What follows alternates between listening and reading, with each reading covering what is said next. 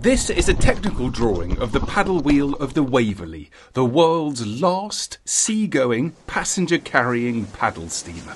She was built in 1946 for the London and North Eastern Railway to provide a maritime link between rail stations around the Firth of Clyde. Her paddle wheels are particularly interesting because they illustrate a key moment of innovation in paddle wheel technology. The wheels have eight timber paddle floats, each 11 feet wide and 3 feet deep. The diameter of the paddle wheel to the centre of its floats is 13 feet 10 inches. Each wheel weighs 8 tons, that's about the same as four minis.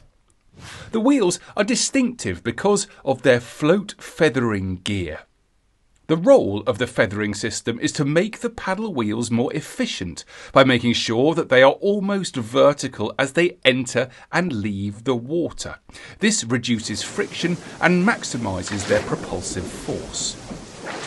By overlaying a paddle wheel with a feathering system over one without, we can see that the floats are 29 degrees closer to vertical upon entering the water and 21 degrees closer to vertical on exiting than those without feathering.